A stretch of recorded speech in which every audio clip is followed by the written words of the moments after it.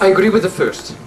Um, I agree with technologies also destroying culture. They also shape cultures. They also have positive effects by creating new cultures that didn't exist before that. But so that was, that was the third point. If you remember the arrow, um, technology is not only socially shaped, not only socially constructed, but technology also has an impact on society. So I agree with the first, and that means that sometimes it, it will have the effect of destroying a culture that I personally feel very sorry about that it's happening, and sometimes I'm very happy that it happens. So there again, I'm not making a value judgment, I'm making an empirical observation that you are right, that technology also destroys cultures.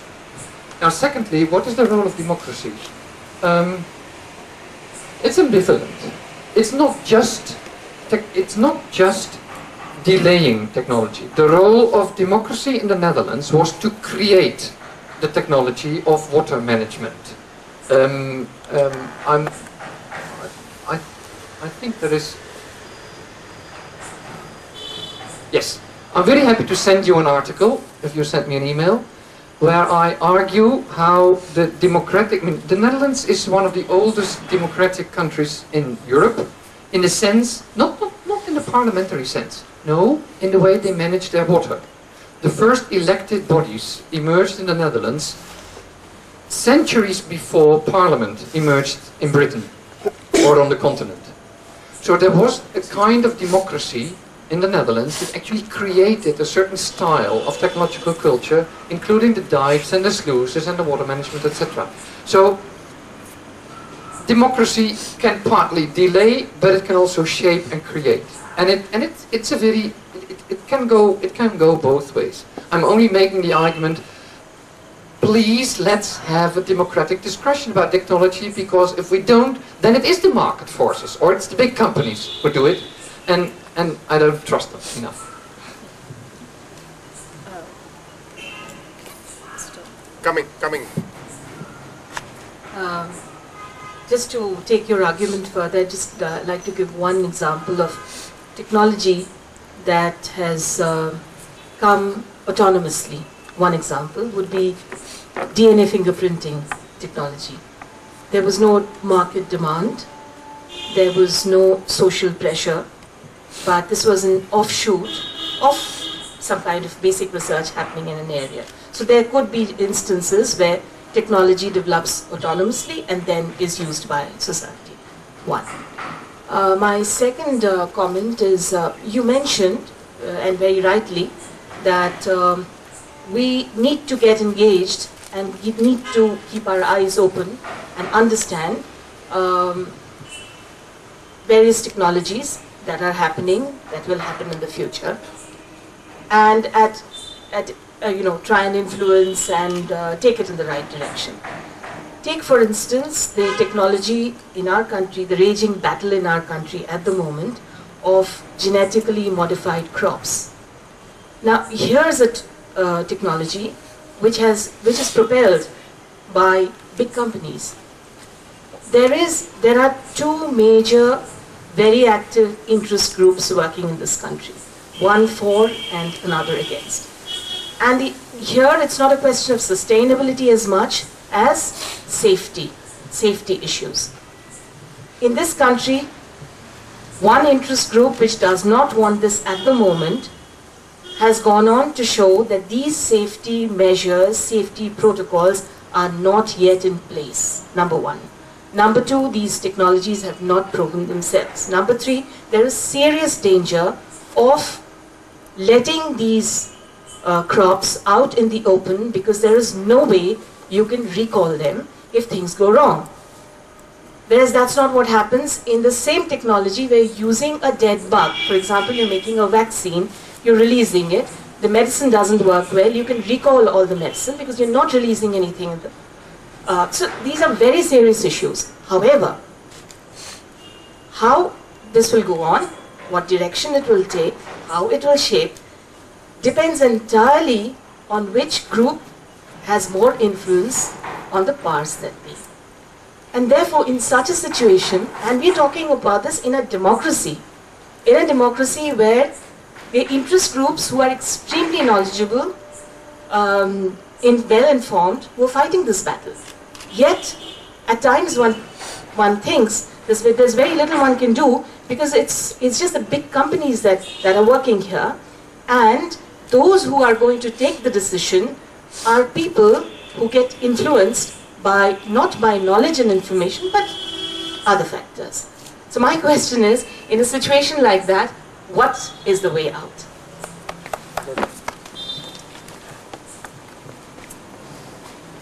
Very briefly on the first question. Um, I don't agree with you that that is an example of autonomous technology. The idea came somewhere from, but then to develop, then then much more other factors need to be in place. But but I, I, I much like I'm, I'm much more like to focus on, on the second question.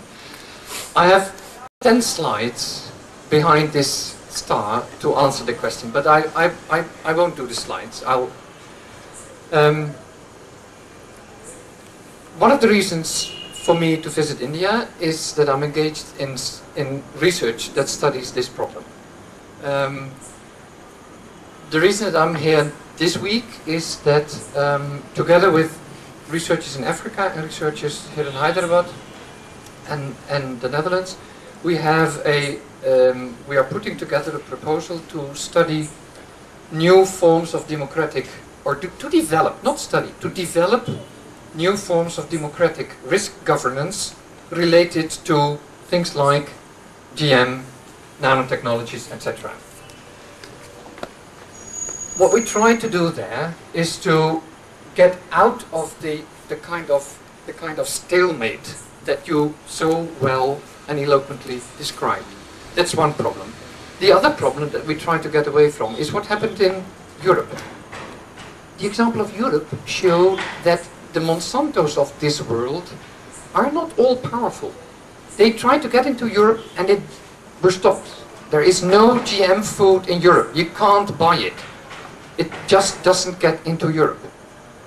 So, Europe is an example that even in a, I think in a too radical way, Europe doesn't allow itself to have even a discussion about whether some elements of genetic modification might be useful and might actually be, be, be, be wanted and adopted in society.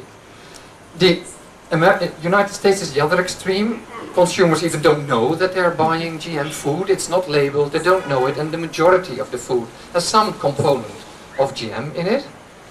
And India is very much in the middle.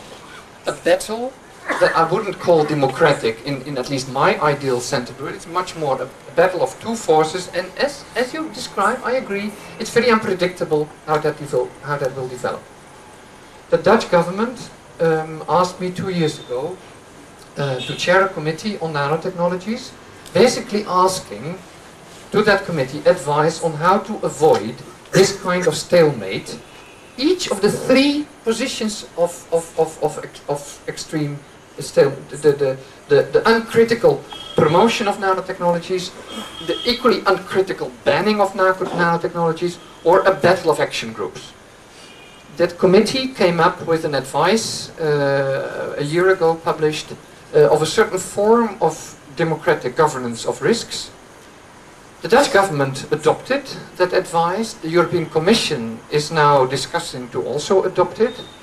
Um, and our research project that we, that we discussed this week is trying to see how such a model might work in countries of the global south.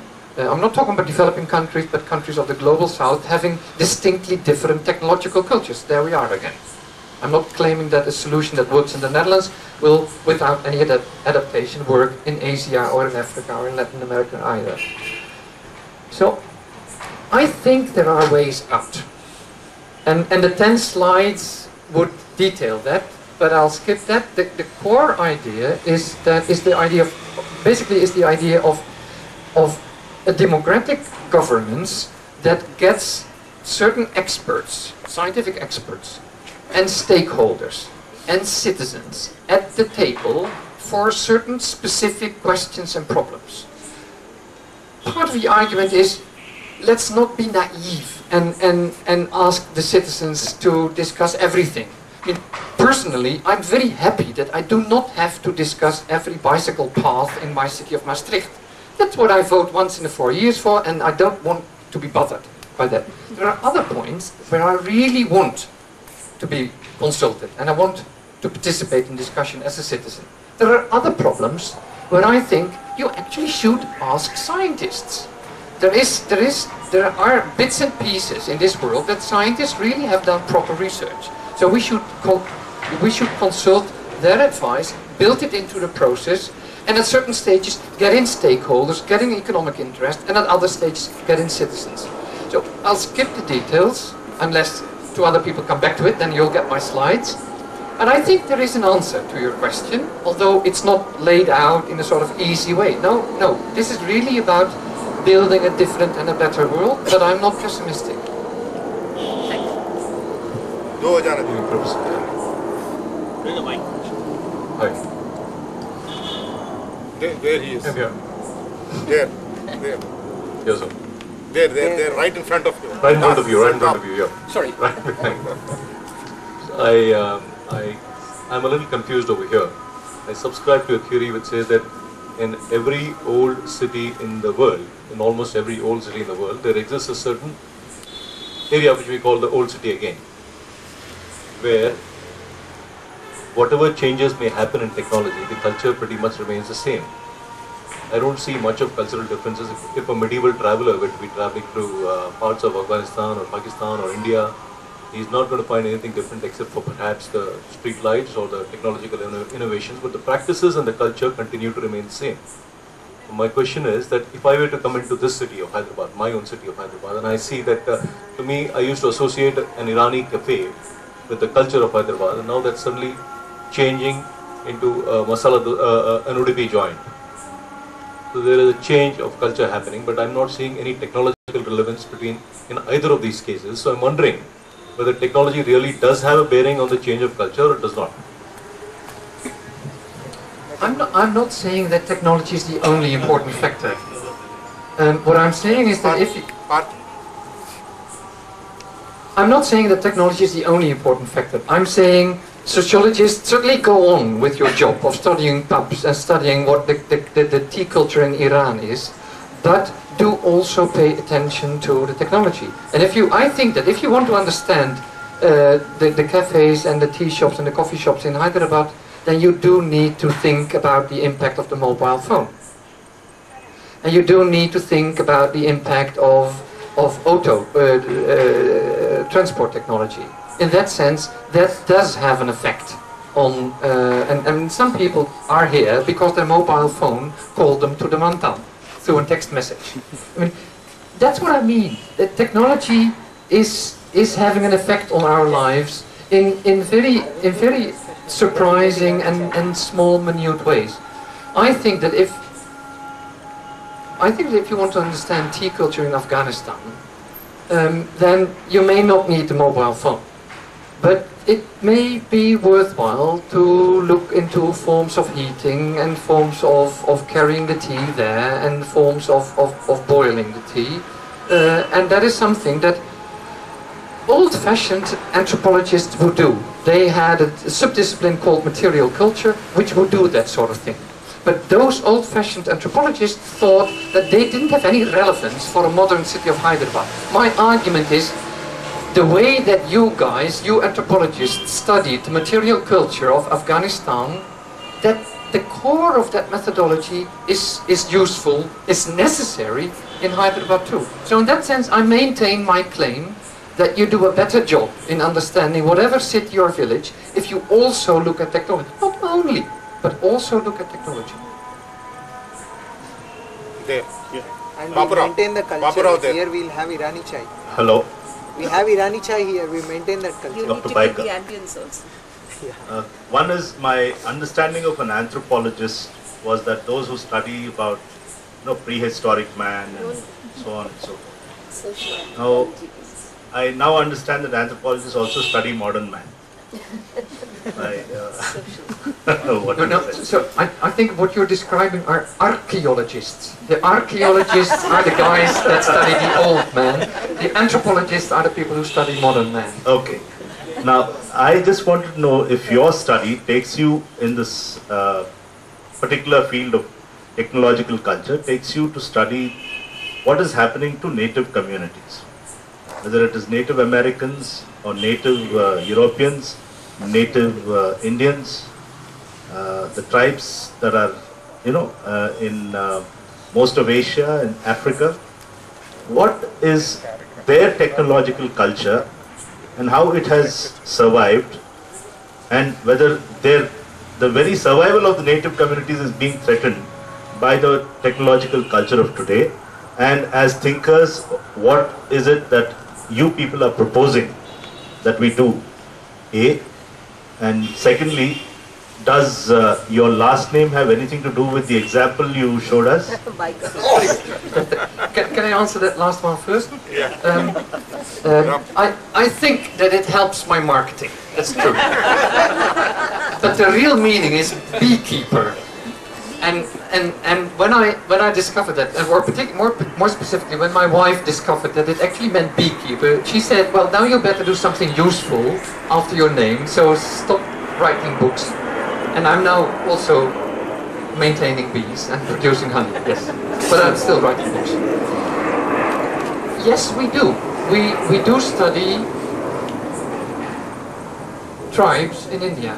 One of my PhD students has now for three years been studying agriculture together with, with people of uh, the Center for Sustainable Agriculture here in Hyderabad, has been studying how, how tribal villages um, use their own local knowledge, but innovate, innovated, innovated, adapted, uh, but not by using chemical pesticides, but by using other organic, very sophisticated forms of, of, of modified, old classic uh, forms of, uh, of, of pest management uh, in their local cultures. Um, so the basic answer is yes. I don't see any principal reason why, with this approach, we would not be able to do that. Actually, um, the, the sec- second uh, PhD student of mine is studying forms of water management, uh, decentralized, small-scale water management in India. That brings her to, to tribal areas.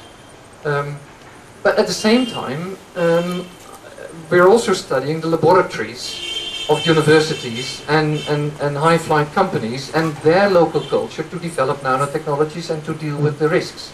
So um, they, they, I have no hesitation with this concept to go either into a tribal village or into um, Princeton University or a company in Toronto and, and ask these kind of questions. I'm not claiming that that will immediately make a better world. I mean, I, I, I realize that this sounds extravagantly arrogant. I'm only, I mean, I'm just that modest academician that Vikram put here. I'm trying to understand better, and I'm making an argument that better understanding actually allows us to try to make a better world. But I'm not claiming that I will do all the things that you hope for. One last uh, addendum to my question. The there were certain animals which were tamed and uh, bred to do certain tasks, which also I think was a technology. Yes. Now, those kind of those animals are threatened by technology. They have stopped breeding, and the quality of animals has deteriorated. Is there anything in your study to do with the domesticated animals which are used for uh, labor by man, which have been replaced by machine? Is there anything on that which you can enlighten us on? No, I'm sorry, but but but only in the sort of empirical sense. I don't know. I mean, I, I recognize what you're saying, I, but I only recognize it as a newspaper reader. Um, but I have not done any research in it. I'm sure that with this perspective, looking at that problem, um, we would get a more subtle understanding of what is going on, and actually might be. I mean, it's not. It's certainly not a strange idea to think that we might come to the conclusion that actually those farmers would be helped better, better in, in, in, the, in the broad sense of sustainability, not in a narrow financial sense, but in the broader sense of sustainability, would be helped better with ways of maintaining their animals rather than with, with, with adopting the new machines. I wouldn't be surprised if that is the outcome, but I don't know. Maybe they should buy the new machines. I'm not anti-technology. I'm, I'm arguing for a better, a better understanding of the subtlety of the relation between technology and society. Uh, this is in the context of green economics, uh, carbon footprint. You have any idea or you can comment on the product called Kindle, which is presently in the US specifically, is going to move on. Any idea? I don't, I don't It, it's it's a electronic newspaper. The and a ebook, book. ebook reader. Ebook reader. Ah, Kindle, Amazon's. Amazon. Radha. basically, I no. I think I should shut up. I mean, I'm the sort of guy that can talk about anything, but I, I should show that I also can shut up when I really feel I'm not an expert. So I'm sorry. It would be very worthwhile looking into it, but I haven't done it, and I should shut up. In all modesty, Yeah. Hello? Can you hear me? I can certainly hear you, but I can't see you. But hearing is more important. Uh, The lady is talking about other factors that stop the democratic process. I wanted your idea about voting in India. We have some of the best systems of, uh, what do they call them, automated voting machines. But we have some of the least educated voters in the world, the largest number. Now, another technology is biometrics for voter identification and other uses. Do you have anything to enlighten us on those subjects? The As vote- oh, sorry. refers here. And second question for you particularly, regarding those floods. We recently had a catastrophe on a river called the Kosi. Yes, I followed it. I wonder how much interaction our government has had, and this refers to political leaders steering the way to technology. How much interaction has the Indian government had with the Netherlands to bring in those, that technology of dikes to India? To, to, to start with the letter, as far as I know, none. I followed the Kosi River disaster pretty closely, uh, but I only followed it on the side. I haven't really started reading the. I mean, I, I collected everything that I that I that I received through email. I'm, I'm on the list, the discussion list, um, and I, I kept all the documents, but I haven't really sat down and, and, and wrote about it. But I haven't seen any reference to the Dutch. Um, and there are some very, there are some very, nice is a very nasty word here, but, a cynical word. But there are some very good examples in the Kosi story to, to basically support several of the points that I'm making. But basically, no, no Dutch involvement in, in either the preparation of the, the Kosi embankment or what is happening now, as far as I know. Your first question, voting machines are a researcher's delight. I mean, you're talking about India, but I guess that many of you will remember four years ago, Florida. I wasn't that a beautiful case of, of how technology can partly disrupt democracy and, and social And cohesion? the course of history. yeah, Absolutely. Um, another case um, is that the Netherlands um, uh, now since two years have banned all voting machines because increasingly it became clear, and it was it was becoming a slightly embarrassing story for the government that it was possible to to hack these machines. so there were I, I don't think that anyone was interested in doing it, but you could imagine a hacker sitting next to the school where the where the voting where the voting took place with this small laptop, uh, and she could actually tinker with the votes. Um, and and then the company and the engineer said we'll fix it, and they came with a new prototype. And then the hackers came and they hacked it again. And there was a second prototype. We fixed it, the engineer. No. So by now we are back to the red pencil, which I like actually. Um, so voting machines, but let now, now more seriously. Um,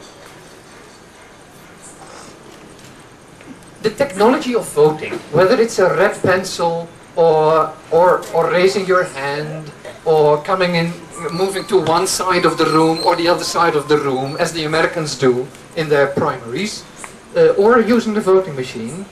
Again, I would say you can only understand what is happening there if you study the larger culture around that voting machine. And I can imagine that certain cultures would not be happy with the red pencil and would would might even consider it um, sort of downgrading the quality of democracy.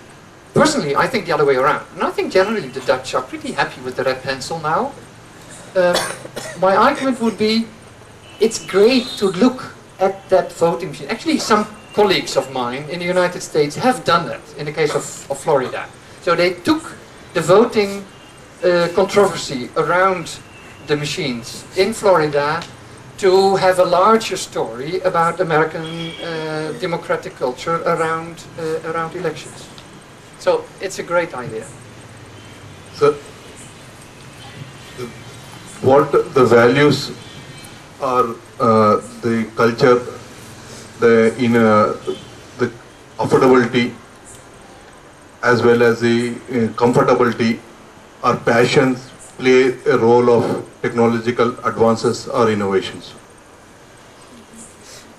I think I think they play a role. I think they play a role, but you can't predict how much of a role they play. I'm pretty sure that my Mac is much more comfortable than your Windows machines. But still, you all have Windows machines. So comfort, comfort, user friendliness, they play a role, but it's you can't predict how much of a role it will play, whether it will tip the balance one way or the other. Um, you're of the generation that, that probably also have had the, the, the, the, the other video recording systems, not the VHS system that in the end won, but some of the other systems like Betamax. No, I don't see any recognition. Anyway, anyway, that that that was that could do much better uh, videoing than the, the VHS to which we then moved. We we lost that again. Um, so it is important, but you can't predict how important. That is part of the whole play of forces and interactions, um, and you can't predict it. The only argument I can make is pay attention to it, because if you don't ask the question how comfortable, but also how affordable, because I mean I realize that the Mac is slightly less affordable than the Windows machine. True, true. Uh, if you don't pay attention to those factors, you're only telling half of the story, and you're quite possibly uh, losing an important element to understand both the development of technology, sorry, both the development of technology and the interaction of that technology with society. So it plays a role, but not in any predictable sense. Uh, Dr. Bijker, Yes. yeah. Uh, do you see, uh, say, 50 years, 100 years, 500 years from now, uh, a sort of convergence of uh, uh, various uh, cultures and disappearance of diver- diversity amongst these cultures?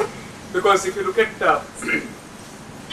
what we call as the upmarket culture, irrespective of the country in which you are, it tends to converge. I mean, th- there is a greater similarity in the upper segments of the society.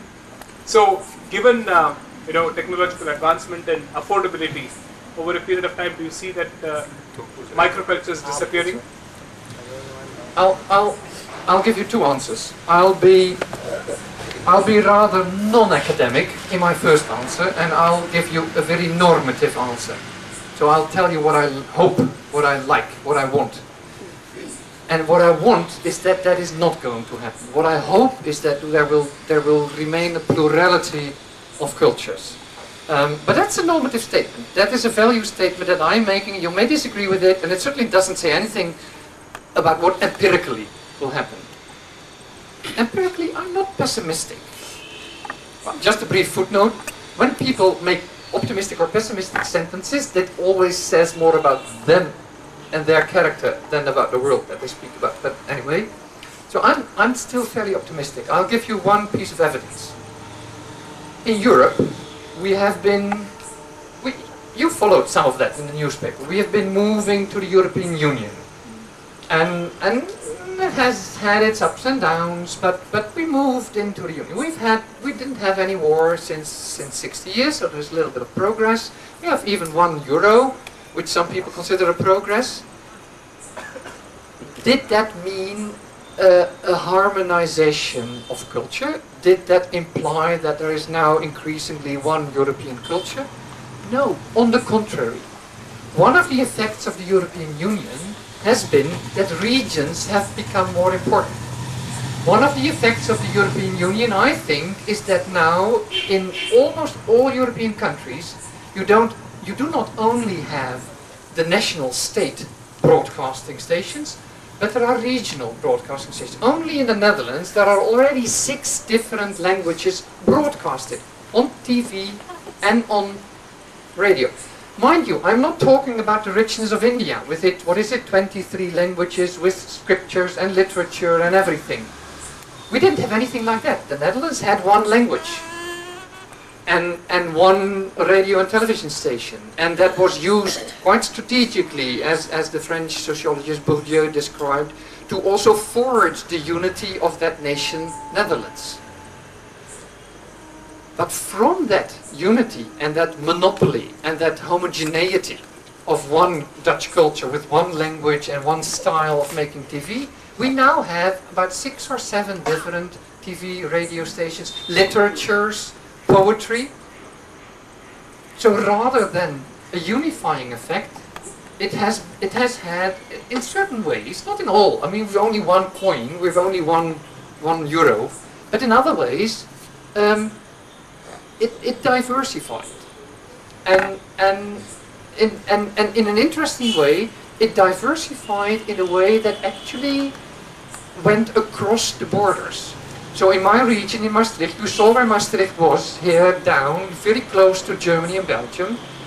In some sense, for some instances, some exhibitions, some art, some art activities, the region, including bits of Belgium and bits of Germany, is much more important than what's happening in Amsterdam and The Hague. So a new, a new ordering of the world is emerging because of the harmonization and the unification of Europe. So I think that both movements are happening, but not necessarily uh, leading to more homogeneity. I personally think that there is hope that, that handloom, following the kind of argument that I have given, will, will be sustainable and will remain there. Possibly, because market forces are important, possibly by providing cloth for a very elite top part of the market. Fine. I wouldn't mind if that if that creates a sustainable life for these weavers and these weaving villages. It also would create a more sustainable textile culture in India. I'm, so in that sense, I'm not convinced that necessarily the push of technology will create a more homogeneous, in this case, only mill-produced form of textile culture. After having heard you, Professor, uh, this is Ajay, uh, I was wondering what prompted you to mention the Gujarat uh, riots of 2002 uh, in, uh, in the background of technology and culture. Where does that come in? Um, when I send you when I send you my title, which was different from this title, uh, the title was "The Vulnerability in Technological Cultures," and as you as most of you may have read, what I what I proposed to talk about was how, on the basis of this kind of perspective, on the basis of looking at technological culture in this broad sense, looking at sustainability, democracy in this broad sense, how, from that perspective, I'm proposing, and I'm doing research, and that's what goes in my nanotechnologies and my GM food uh, democracy debate, I'm proposing another way of dealing with risks and dealing with vulnerability. And um, in that line of arguing, um, what is currently happening in Gujarat um, was an example. Now, then you said, well, let's change the title, make it a bit more general. Let's skip the vulnerability and let's talk about technology and culture. Um, I, I liked the idea. I visited the, the, the Manthan uh, website, so I, I sort of got, got a better idea of the audience and of previous talks, and I decided um, to give this talk. So, risk vulnerability out, Gujarat out. If you still want to know what I would have said, yeah, yeah. Oh, there's another question here. After If I that, after escape, that, great. after that. I just wanted to add, see, currently there is a progress happening in Gujarat, so you can't say currently. It's decade back what has happened in 2000. Six years ago. So, no, no, seven years back. Can, can we have you share that, please? Because I that was my unasked question, frankly. I mean, what the question he asked. I wanted to ask the question. Please use the mic. Use the mic. No, no. She's just She's asking just him adding to pressure on me. It's very simple. She's just adding pressure. I was trying to escape. What time does this end? when, the, when you see the audience getting up. See, Narendra Modi. No, my argument was, or the argument that I- I'll start a little bit back. I, I'll, I'll honestly try to answer it, but um, I'll, I'll start a little bit back. Together with a group of Indian scholars, activists, practitioners, I'm involved in a project which we briefly call for ourselves. We'll probably not use that in public later, so you're all asked to forget it after I've said it. We call it Rewriting Hind Swaraj for the 21st Century. Idea being that Hind Swaraj was written 99 years ago about the self-rule of India. What we try to do, or these Indians, I'm just the European guy who happily walks along and, and tries to learn from it. What we try to do is to think what self-rule for India would mean in terms of its science and technology for building a better society. So, Hind Swaraj for the 21st century for the role of science and technology. It's part of a larger project where the same thing happens in Africa. Next week I'll be in Kenya and there will be a workshop, the same workshop that we had in November at the 99th birthday of Hind Swaraj in Gujarat. So there will be an African project of three years trying to, well, they don't have an Hind Swaraj, but trying to think what would be an agenda for science and technology development that meets the needs of countries in Africa as the question that we posed here, what would be a science and technology policy? What would be self-rule of science and technology for India? What would be a way of doing nanotechnology, GM, not by importing it from Monsanto, but by developing it on India's own terms. So that's the larger project. It's a three-year project funded by the European Union, a, a large, a large chapter in India and a chapter in Africa. That process started in November in Gujarat. And it started in the Tribal Academy. Um, also to, we, we went past the, the, the, the, the, uh, the, uh, the ashram in Ahmedabad and we had, had the workshop in the tribal village in Tejgadh. Also to symbolize that this is not an academic affair, but that we really try, even in a physical sense, to base this kind of work on, on, on what is going on in, in places like that.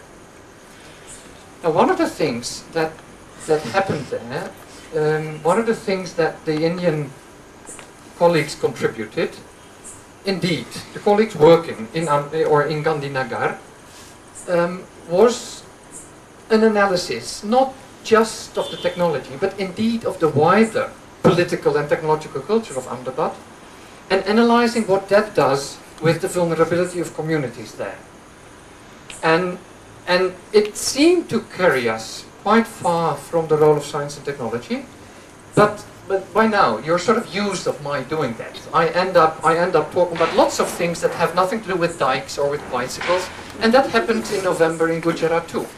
So one of the things that, that my colleagues in Gujarat argued is that if you want to understand what happened in the wake after the Gujarat riots, let's call them riots for short, although I think there's a very good argument that they were not riots, that they were much more staged and much more Uh, uh, governed with the use of technologies like mobile phones and, the, and, and technologies like the bureaucracy of the government, of the Modi government. All those technologies went into those riots, which because of that you shouldn't call riots. Riots are mob actions, unplanned, unpleasant, and relatively brief. In that sense, these were not riots, but let's call them Gujarat riots, and everyone knows what I'm talking about. If you analyze what happened afterwards to the Muslim minority there, then what you see is that they are denied their own history. They are denied their own stories. They can't. They are denied a place in the in the modern, current development of Gujarat. There is this probably the most booming uh, corridor with with uh, with industries and and and uh, high-level educational institutes between Ahmedabad and Gandhinagar. Gandhinagar itself is one place full of universities and, and, and high-level firms, but the whole corridor to Ahmedabad, quite ironically ending at the at the ashram uh, where where the Salt March started. That whole corridor is an example of creating a certain technological culture, and in the wake of that technological culture, it's not only technology policy, but it's also identity policy that is played.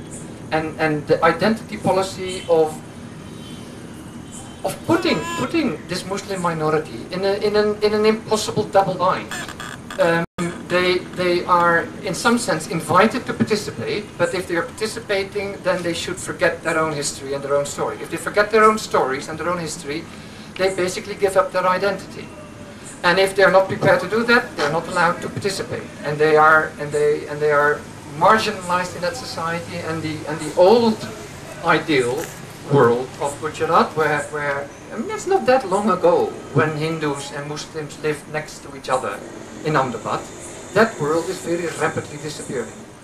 And my argument is that if you again again, I mean, I only have one story to tell, one sentence to say is that if you want to understand what is now happening in Gujarat to the Muslim minority, you also have to look at the technology policy of the Modi government.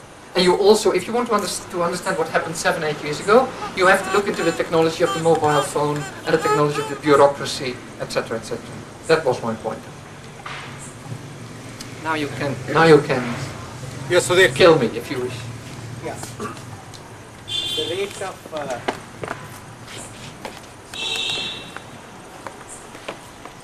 the technology takes long time to trickle down to masses. We had Maruti once in 1975, I suppose. Now we are going to have. You want water? Yes. Thank you. Sorry. Yes. So you were talking about nano. So nano takes a, takes a long time to come down to masses. The rate of change in societies is very slow in comparison to the change in technology. But yet, MNCs, Fortune 500s, and I don't know whether it is market forces or the vested interest, they stop technology to go to masses. Now, is there any way of tackling this situation and where do we intervene to get appropriate technology for the masses? The um, And are there any examples for it? Yes, yes. Um, I will give you two examples. The trouble with the second example is that it, it requires some very difficult words that I've forgotten. So I'll have to talk around that, but the core of the example is right. Um, so let's start with that difficult one, then you will only remember the one that, that I can fluently present. The difficult one is an Indian example of a medicine um, which is a nanotechnology medicine. You need nanotechnology to produce it. It is about a certain. It is a medicine that takes care that that is used to to treat a certain fever, a fever that is very common. So I'm not talking about a lifestyle disease. No, it's a it's a it's a fever that the poor in India have, but the current medicine is very expensive. This nanotechnology um, is able to have it, it, it, it's basically a drug delivery system um, that packages the drug in a very easy and mass-produced way that allows much larger masses to benefit from this medicine than is currently the case. Um, it is it's already in production. It hasn't been rolled out yet, but it is an example of where a nanotechnology actually is well, is being rolled out to the masses and is, is designed to benefit the poor, basically. Second example is from Kenya. I mean, I'm again talking about this same group of people. Uh, the example in Kenya is that um, uh, this physics professor with whom I'm collaborating, they they realized when he is a Kenyan, he has been down in the countryside. He realizes he realized that pottery makers in Kenya they use a certain plant. Um, they boil that plant. The water gets very slimy and a bit thick. That water they use to coat their pottery in, and the pottery then becomes much and much stronger. It's centuries old. He doesn't know how old it is, but all the pottery makers in Kenya do that.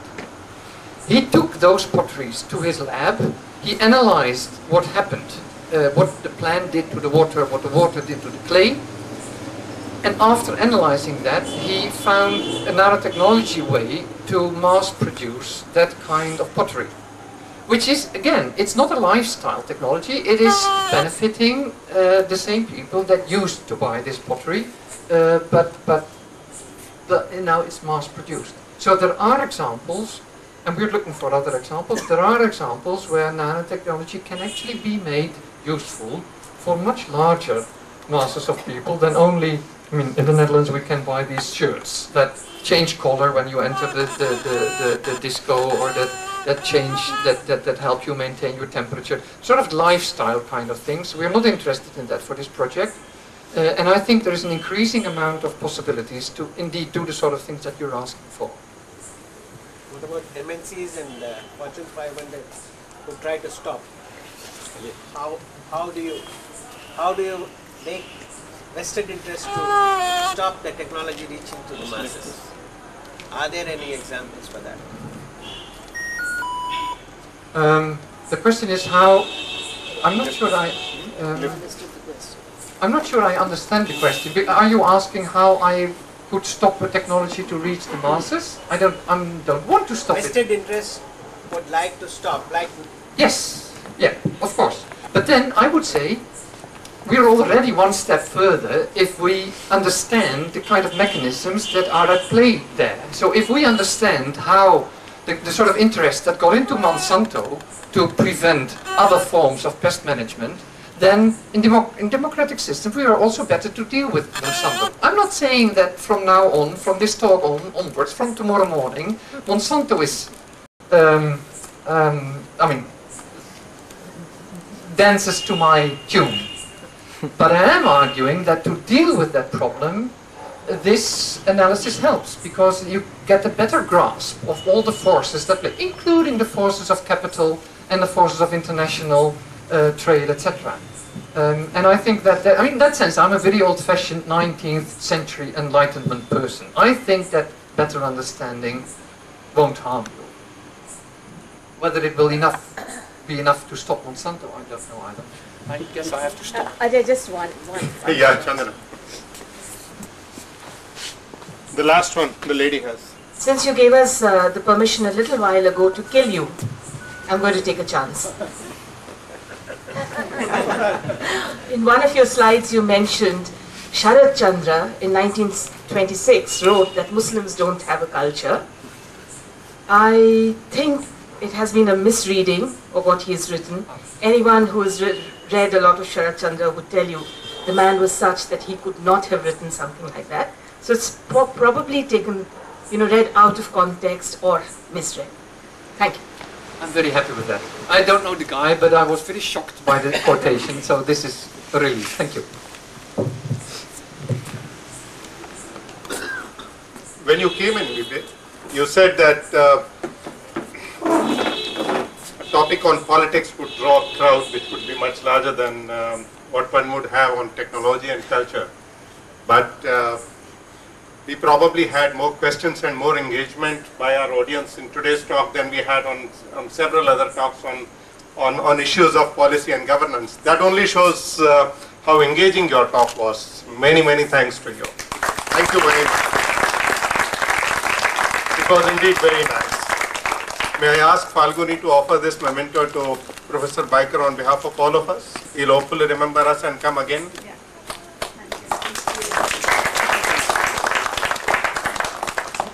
Thank you, and uh, look forward to something interesting in February as well. Thank you, ladies and gentlemen. Good night. Thank you very That much. very nice. Very nice.